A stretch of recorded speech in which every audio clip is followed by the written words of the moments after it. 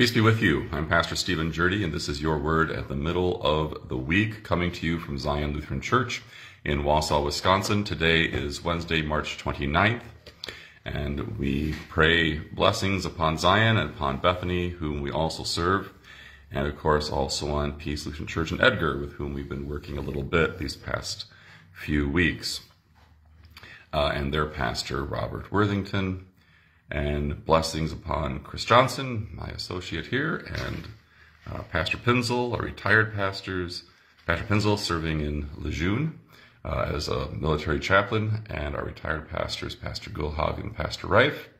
Uh, we're very blessed to have folks, to know folks who are laboring in the gospel of the Lord, and of course, blessings to all of you who listen this day. So, we are talking about the Holy Trinity. Today will be our very last and final um, study on the Holy Trinity.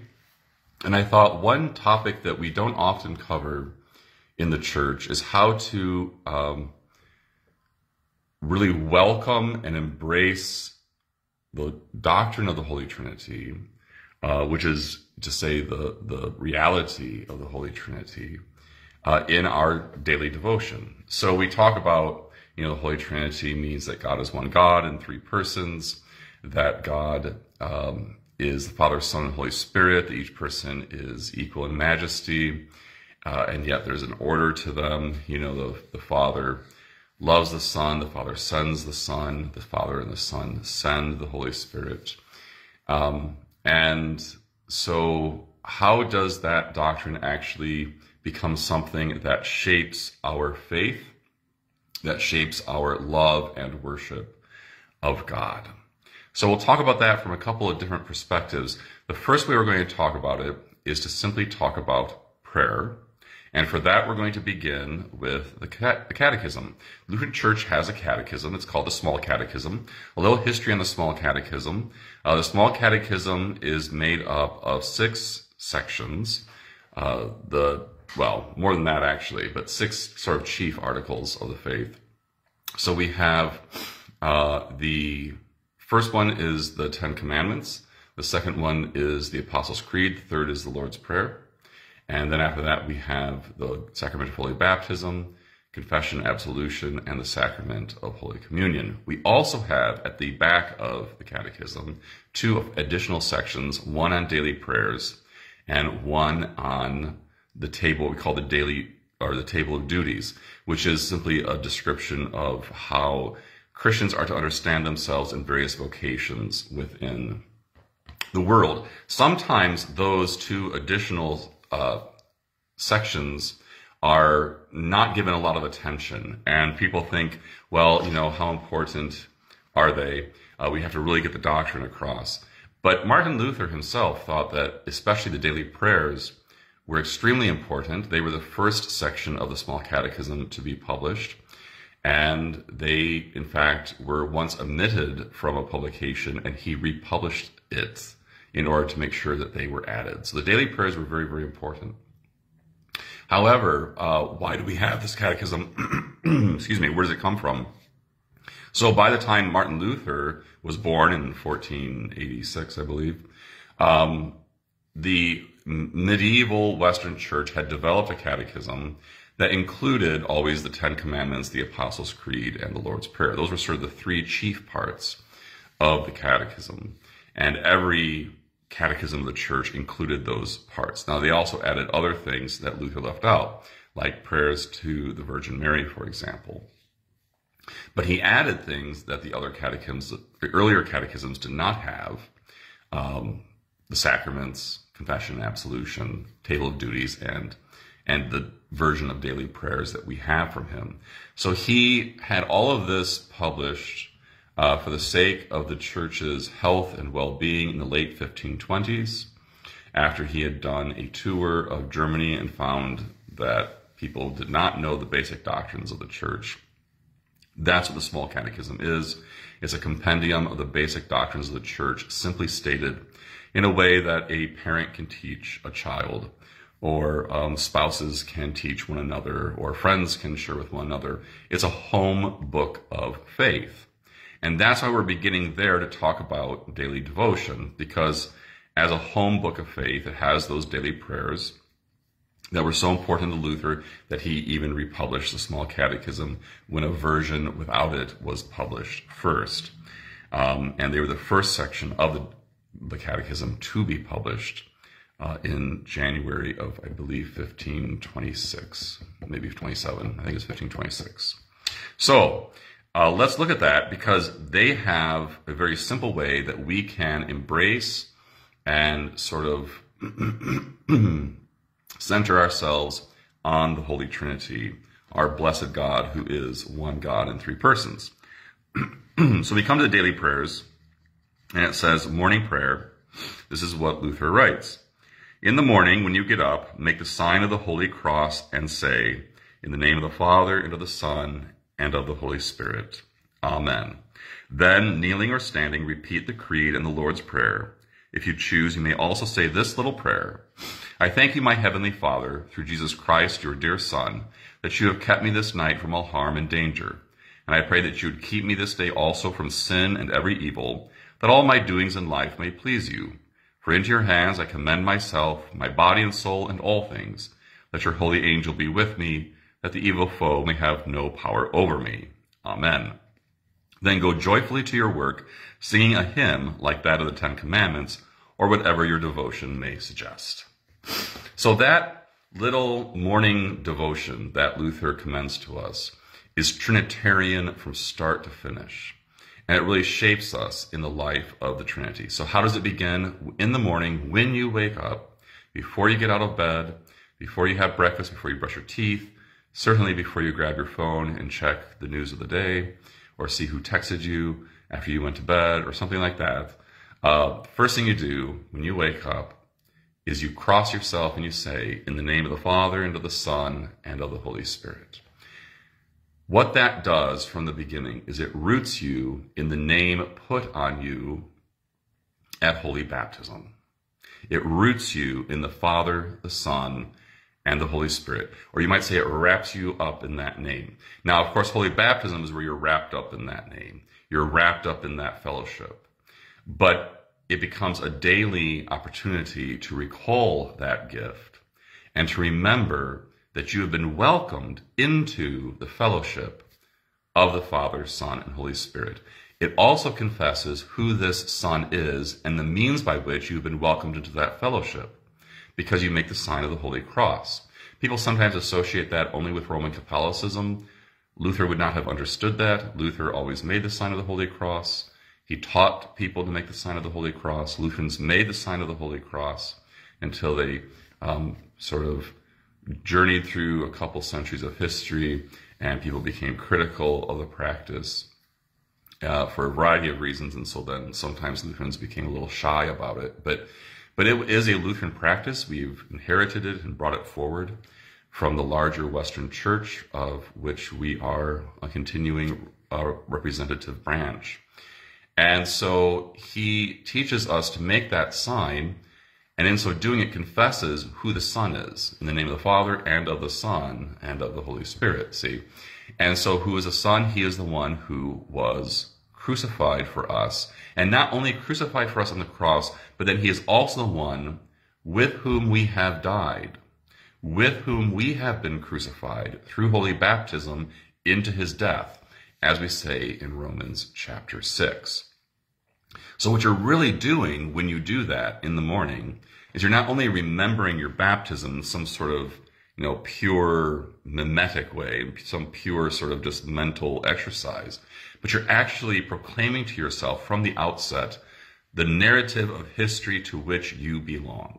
You belong to that narrative of history that confesses that creation began when the Father made all things for his Son in the power of the Spirit that you belong to the stream of history in which the Father sent his Son to redeem us and die for us. And now we have been joined to him through the ministry of the church that is the gift of God's word and sacraments, which create faith. And by that faith, we are united with Jesus Christ now and forever. What a way to begin the day. What a way to begin by acknowledging and praising um, the name we've been given and sort of enshrining it in our hearts. So it's not just sort of a doctrine we use to fence certain other doctrines. It's actually part of our prayer. And it's a prayer that gathers up our whole self and says, I belong to this God. And God, you belong to me, and now I welcome you this day into my heart and even upon my flesh. Now, people sometimes ask, how do we make the sign of the Holy Cross, Pastor? That's something I haven't done. My parents didn't teach me to do it. Um, I feel kind of strange doing it until I know how to do it right. Well, this is one of those things not to stress over. And at the same time, it's good to know how to do it well. I mean, anything worth doing is worth doing well. So what you do is, this is also kind of a fun Trinitarian thing, and there's different, you know, sort of things you can do. But what I've learned, what I've been told, is you take your three fingers, you press them to your thumb, right? So you have the, the three God, the three persons of God, and the unity of God, right there, in your in your hand, and you begin at the forehead, and you trace it down to your chest, and then you go back to your right shoulder and over to your left shoulder. In the name of the Father and the Son and the Holy Spirit. And that's using your right hand. Why do it that way? Well, because in holy baptism, the pastor traces a cross over you when you're baptized. And he traces the cross over you from your forehead to your chest, from your right shoulder to your left shoulder. Uh, not that there's anything magic about it, but we just sort of do things in a uniform fashion precisely so that there's no question about it. And we can just sort of get on with things and not debate it. Well, then why not trace that specific cross made on you at baptism when you make the sign of the Holy Cross? Now, maybe you weren't baptized that way. Maybe that sign wasn't made over you. Nevertheless, you are sort of confessing your unity and your fellowship with all those who have been thus baptized, right? And you're simply saying, I'm part of this, this whole universal church of which we um, have been made members through Christ. And then what does he have you do? After we welcome the name, after we love the name, after we confess that the name has been put on us and we belong to God and he belongs to us and we're standing within that narrative of the Holy Trinity's life and work, then he has us confess the creed and pray the Lord's Prayer. Now, sometimes people don't like this uh, aspect of the devotion. That was something really surprising to me when I did some work on this for my doctoral research, how people did devotion, how people reacted to these daily prayers in the small catechism. Excuse me. A lot of people said, well, that's, that's church talk, and I don't pray that way in my daily life. I pray in a more casual way to God. And it just seems so formal to be reciting these things that we recite also in church.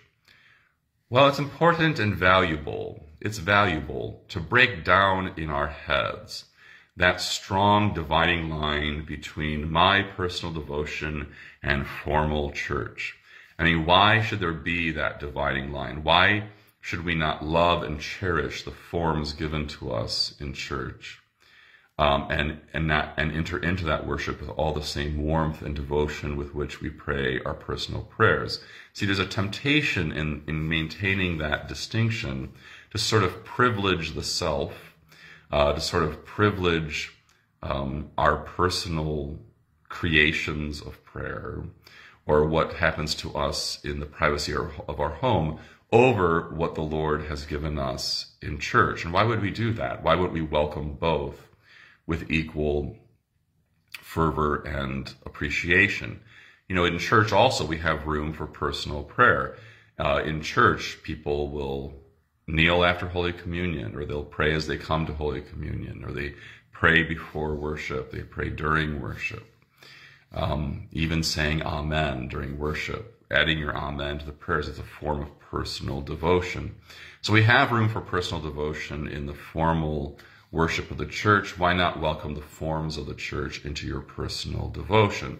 Because specifically what the creed does is it then gives you a little mini sermon to start the day and a, a mini sermon you can trust, a mini sermon that from the beginning says what has proven to be trustworthy and true over the ages, having been well worn with usage, this Apostles' Creed.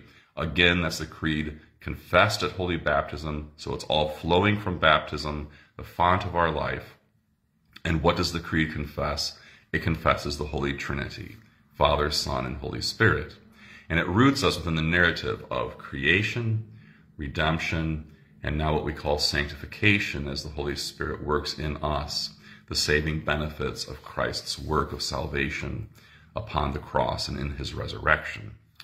Um, and so you go, you enter into the day with promises. Notice the Ten Commandments are not spoken first. We'll get to those in a moment.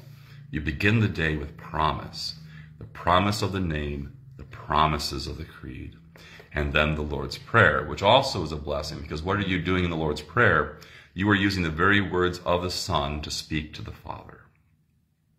Now, people may say, where's the Holy Spirit in all of this? We'll get to him in a moment. But just, just let's just pause and say, wow, in the Lord's Prayer, we stand with the Son, united with the Son, in the Son, Jesus Christ praying to the Father with the very words the Son has given us.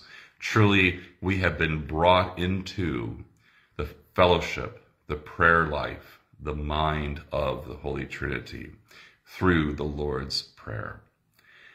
And that all happens in the power of the Spirit. This is something made more explicit in what follows, that little prayer that is not really original to Luther. Now, it is and it isn't. Uh, the prayer that he offers us to pray in the morning has its roots long before Luther, at least a thousand years before Luther, in the monastic practices of the church. These were there's always a practice, not always, but they're developed in the church the practice of praying for the angels to watch over us, uh, giving thanks for the day, confessing our sins, asking God's blessing on the day, and asking for his angels. We find lots of prayers of that nature in the devotional life of the church already by 300 AD. And so, uh, in the Desert Fathers and whatnot, in the fourth century, the Desert Fathers were like monks who lived in the desert and prayed to make something more complex, very simple. And this prayer has its roots in that uh, prayer life of the church, specifically a desert father or monk in the desert named Macarius. But anyway, listen again to it and listen how it to how it is Trinitarian. The Holy Spirit's not mentioned, but knowing what we know about the Holy Spirit, we can hear that He's there. I thank you, my heavenly Father, through Jesus Christ, your Son, that you have kept me this night from all harm and danger. And I pray that you would keep me this day also from sin and every evil, that all my doings in life may please you. For into your hands I commend myself, my body and soul, and all things. Let your holy angel be with me, that the evil foe may have no power over me. Amen. That language in there is language of the Spirit, and it's worth pausing and unpacking that a little bit. Certainly, we have the Father, He is the one who's addressed. He is addressed through the Son, because we cannot approach the Father apart from the Son, Jesus Christ. And then listen to this language, these verbs kept, pray, keep, please, commend, be with me, have no power over me. Uh, if we know our catechism, we know that when Martin Luther describes the Holy Spirit, he says the Holy Spirit keeps us with Jesus Christ in the one true faith. The very first thing we pray for is a prayer of thanksgiving that He has kept us this night from all harm and danger. How does prayer take place? How do we how can we say I pray? Only because the Spirit comes and teaches us how to pray, as Jesus says in the Gospel of John, He will come and teach you all things, lead you into all things. But then especially this language, for into your hands I commend myself. Remember that, that reflects the language of Jesus when he says, Father, into your hands I commend my spirit, right? And so in being commended to the Father, we're using spirit language. Uh, we're being united with Jesus in commending our spirits into the hands of the Father, which is the work of the Spirit himself. And of course, the Spirit is um, God with us as much as Jesus is God with us. Let your holy angel be with me. So this sense of presence, the Holy Spirit throughout the scriptures is associated with God's presence. His Shekinah in the Old Testament is a term sometimes used there to describe the presence of God associated with his Holy Spirit. That the evil foe may have no power over me. Jesus says specifically to the apostles, in the book of Acts. Wait in the city until you receive power from on high. And when does that come? when the Holy Spirit is poured out upon them. Um, and so we're praying for the power of God to be with us in this prayer. We're praying for the Holy Spirit.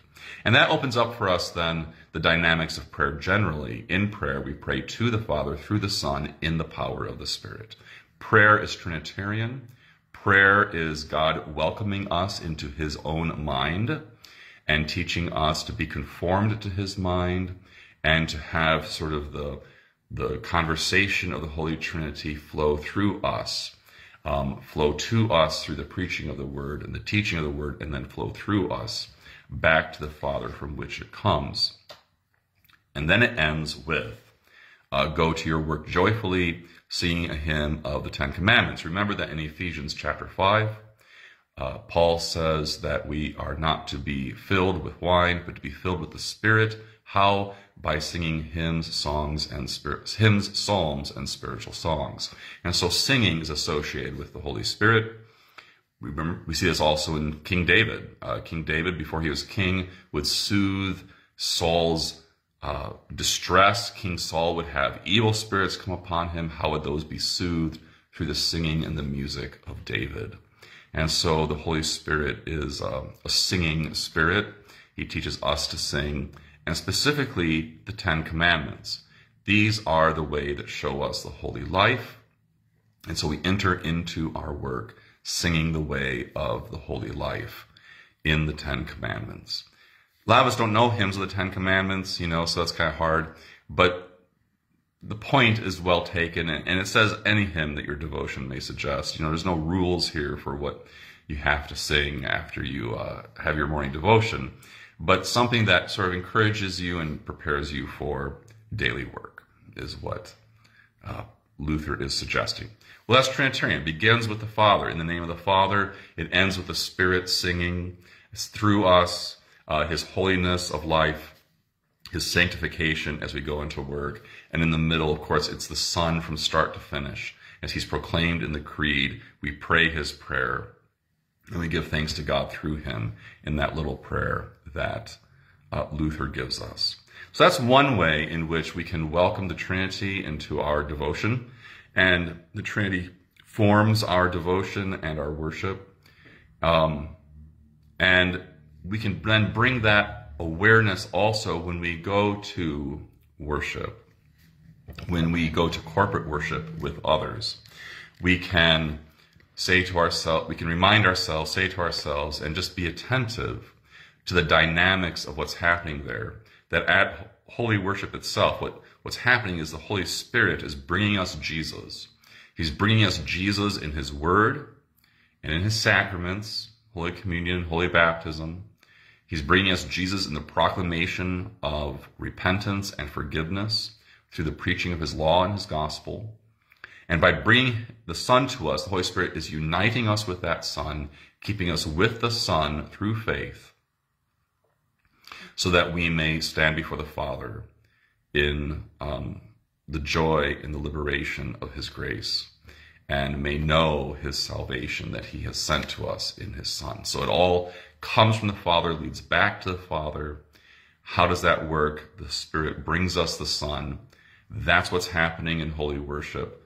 Jesus is being set forth publicly so that all may believe and be united with him and gathered back to the Father. So every service of worship is part of the universal harvest of the church that began when Jesus came, lo, these many years ago. A final way, another way, I mean, there's lots of things we could talk about, but one final way uh, to welcome the Trinitarian life into our life is through Trinitarian hymns. And there are some beautiful Trinitarian hymns uh, within our hymnal. We lose, use the Lutheran Service Book, and it's possible that where you are, you use something different, but you'll find Trinitarian hymns in most Lutheran hymnals. You should be able to find um, some Trinitarian hymns. And so if you open right away to number 504, we come to Father Most Holy. And these hymns have found their way into our hymnals only through centuries of use in some cases, and certainly some some rigorous review um, by leaders of the church, and they put on our lips the doctrine of the Holy Trinity in a poetic, beautiful way that helps us to love it more. So 504, Father Most Holy, my uh, allergies are, are acting up here today, so my voice is kind of low and I don't really have um, a singing voice this morning, but I'll just read it to you, all right? Father most holy, merciful and tender, Jesus our Savior with the Father reigning. Father most holy, merciful and tender, Jesus our Savior with the Father reigning. Spirit of comfort, advocate, defender, light never waning. I mean, that, excuse me, that first stanza really just lays out who the Trinity is. It doesn't even add any verbs between us and the Trinity. It just confesses who he is. First, Father most holy, merciful and tender. This is not the Father in august, um, august condemnation or august critique, um, sitting at you, sort of, you know, measuring you up, deciding whether or not he's proud of you. This is Father most holy, merciful, and tender. And then Jesus, the first thing said about him, our Savior, with the Father reigning. So they're put together, kept together. Spirit of comfort, because he's often called the Comforter. Advocate, defender, he's truly a friend as well. Light, never waning. A light that shines perpetually and eternally, therefore an uncreated light, because all the light that we know lasts for a day, lasts for as long as the light bulb lasts um, lasts for as long as the star lives before it dies. But this light is light, never waning. Trinity blessed, unity unshaken. Three in one, right there in the beautiful, poetic, simple statement. Trinity blessed, unity unshaken, goodness unbounded, very God of heaven, light of the angels, joy of those forsaken, hope of all living. Maker of all things, all thy creatures praise thee. See, the first two stanzas of that hymn, it's really honestly not my favorite hymn. It's the tune I'm, you know, kind of lukewarm about. But the words are just fantastic. The first two stanzas are uh, simply confessing the beauty, the goodness, and the truth of the Holy Trinity. And then only in the third stanza do we finally get more here. Maker of all things, all thy creatures praise thee. All for thy worship were and are created. Now as we also worship thee devoutly, hear thou our voices. Only after confessing the Trinity, extolling and praising the Trinity, do we then ask the Trinity for anything. That teaches us about how to welcome the devotion of the Holy Trinity into our life. Praise Him um, sort of swim in him, if I could may put it that way, dwell with the Trinity and with the wonder of a being who is infinite in love, eternal in his existence, stretching from before anything existed to after the new creation is fulfilled in his Son. Uh, and, uh, you know, unbound goodness, three persons, yet one. This is unlike us. And we say, how can that be? Well, remember, he's not human being like us. He's a God being. God being is different from human being. He is uncreated. And he's welcomed the humanity that he created into his life through the birth, the incarnation, the conception and birth of Jesus. Um, but that humanity has been welcomed into this eternal fellowship that is omnipresent. That means present everywhere that is almighty, powerful in every way, uh, that is infinite, unbounded, uh, everlasting, without end. Lord God Almighty, unto thee be glory, one in three persons, over all exalted. Glory we offer, praise thee and adore thee, now and forever. As a hymn, it's short on requests for us, which is kind of nice. Nice not to always show up as beggars asking for things, even though we are beggars who are asking for things, uh, but to show up as those who simply praise and enjoy God in His being. So that's a that's a great hymn. teaches us a lot about how to be devoted to the Trinity. And then in 505, Triune God, be our stay. This is very rarely sung in congregations, which is too bad. It's really kind of interesting. Triune God, be thou our stay, O let us perish never. Cleanse us from our sins, we pray, and grant us life forever. Keep us from the evil one. Uphold our faith most holy, and let us trust thee solely, with humble hearts and lowly. Let us put God's armor on, with all true Christians running, our heavenly race and shunning, the devil's wiles and cunning. Amen, amen, this be done, so sing we hallelujah. Again, my voice, I'm, these allergies are just wreaking havoc here. But what's interesting about this is it begins, it's basically the same thing sung over and over again four times begins by addressing the Trinity first, and then addresses the same prayer to each person of the Holy Trinity, reminding us that we may pray to each person of the Holy Trinity because they are equal, um, because they are one God. The typical approach to prayer is to pray to the Father through the Son in the Spirit. But we know that we may pray to Jesus. this happens in Scripture. Amen, come Lord Jesus. Uh, we also have um, prayers for the Holy Spirit to come. We have that throughout our hymnals and throughout the history of the church. Come, holy fire, light divine, and let your word within us shine. Um, come down, O love divine, is really another prayer to the Holy Spirit. And so by addressing these same words that I just sang uh, to each person of the Trinity, it teaches us something further about our devotion to the Trinity that we may, I mean, it's inexhaustible, our prayer. We pray to God, we pray to the three in one. We pray to the Father. We pray to Jesus. We can pray to the Holy Spirit.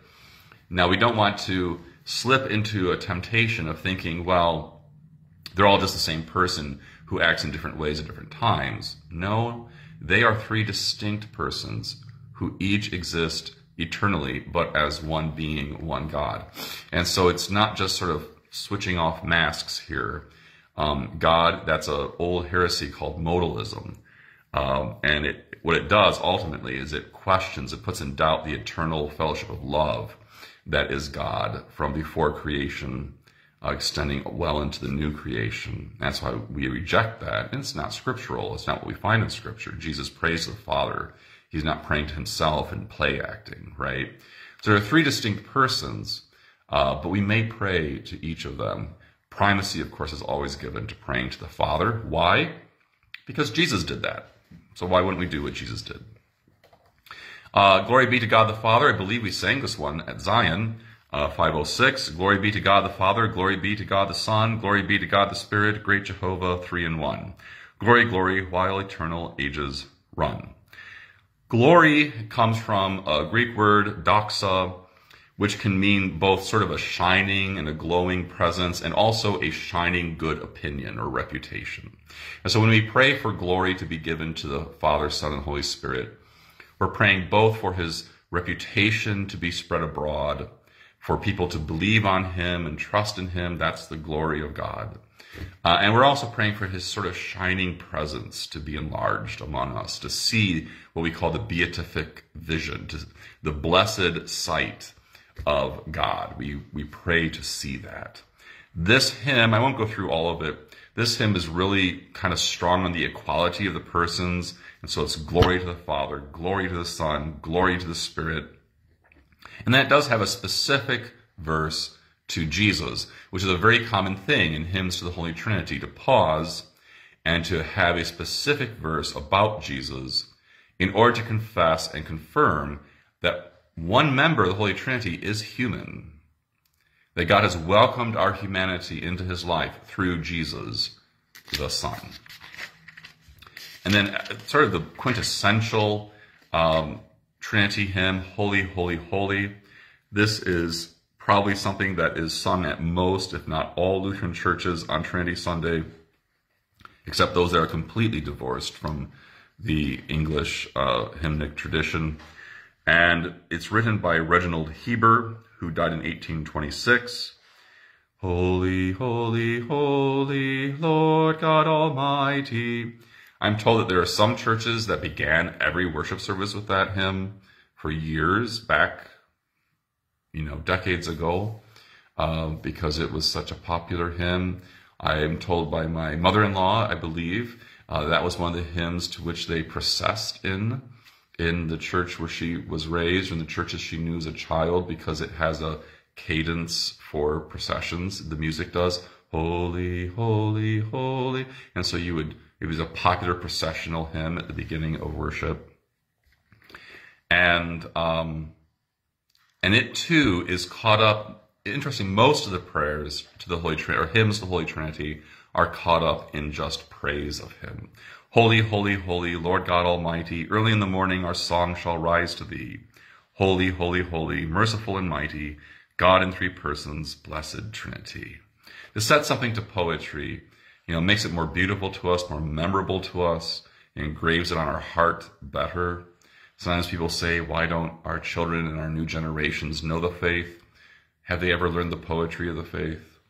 You know, that just, I mean, I still remember rhymes I learned as a, a child, right? Um, Mary had a little lamb, his fleece was white as snow. Wherever, um, wherever Mary went, this lamb was sure to go. Uh, things like that, um, and other ones too that were you know fun, fun to learn as a kid. Uh, poetry just sticks with us, and so this hymn is just sort of beautiful in its poetry, as well as the cadence of its music uh, to engrave that praise of the Trinity within our hearts. And it relies on that triple holy, holy, holy. This is what we see in Isaiah 6. Isaiah 6, the prophet Isaiah has a vision of God, and what do the seraphim sing as they fly around God, veiling their eyes and hiding themselves from his glory? They sing, Holy, Holy, Holy. Always taken by the church as sort of a prototypical confession that there were three there, not just one. He is not holy in one person, he's holy in three persons, though there is only one holiness, that they each are together.